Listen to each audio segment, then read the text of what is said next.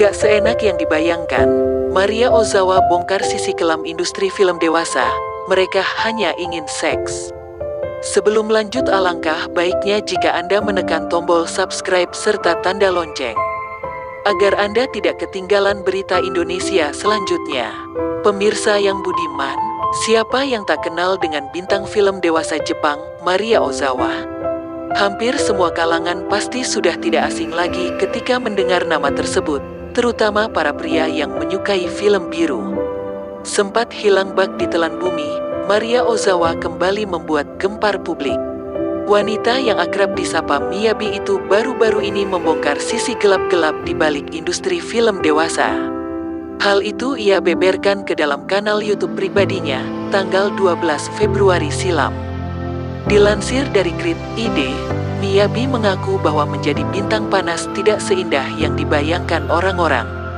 Walau memiliki penghasilan besar, bisa keluar negeri, dan terkenal, Miyabi merasa nelangsa karena satu hal ini. Ia pun mengaku menjadi sangat sulit untuk menjalin hubungan dengan orang lain. Satu hal yang aku sesali adalah soal hubungan dengan orang-orang. Itu sangat sulit percaya seseorang ketika kamu di industri ini, terangnya. Kata Maria, kebanyakan orang-orang mendekatinya cuma untuk uang atau seks. Pertama, orang-orang hanya datang untuk uangmu. Kedua, untuk hubungan asmara, mereka akan mengatakan cinta padamu. Tetapi kadang aku menyadari mereka hanya ingin berhubungan seks karena kamu berasal dari industri film biru. Atau mereka hanya ingin berhubungan seks karena kamu terkenal, kaya, muda. Itu sungguh membuatku patah hati karena sulit mempercayai orang dan sulit menemukan pria yang terhormat atau teman yang mendukungmu sepenuh hati, jelasnya.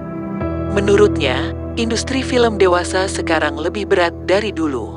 Oleh karena itu, bagi yang tertarik terjun ke industri film dewasa, ia menyarankan untuk berpikir berulang kali. Industri film dewasa sekarang tidak sebagus sebelumnya. Bukan semakin buruk, tetapi lebih keras soal video dan marketing. Segalanya berbeda dari dulu.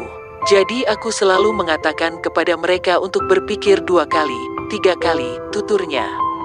Perempuan asal Jepang ini menyarankan, bagi yang tertarik menjadi bintang film dewasa, perlu impian yang besar dan mental yang kuat. Pasalnya, bakal selalu ada seseorang atau suatu hal yang akan membuatmu merasa buruk. Orang-orang akan mencarimu dan menghancurkanmu. Mereka akan mencoba membuatmu jatuh. Kamu perlu kuat mental dan pikiran untuk menyingkirkan mereka dan mewujudkan impianmu. Itu sangat berat, lanjutnya. Berkaca dari pengalamannya, Maria lanjut memberikan petua bijak kepada para gadis yang ingin terjun ke industri film dewasa. Jangan lakukan demi uang, karena itu tidak layak, itu sungguh tidak layak.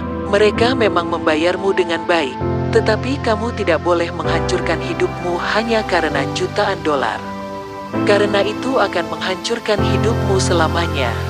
Videomu itu akan berada di internet selamanya. Bayangkan, jika kamu memiliki anak dan menikah, itu sangat berat, tegasnya. Diketahui kini Maria Ozawa sudah empat tahun lebih berhenti dari industri film dewasa. Dirinya kini tengah menyibukkan diri dengan membangun bisnisnya sendiri dan menjadi pembawa acara di TV dan radio. Terima kasih telah menonton. Jangan lupa untuk tinggalkan like, komen, dan subscribe.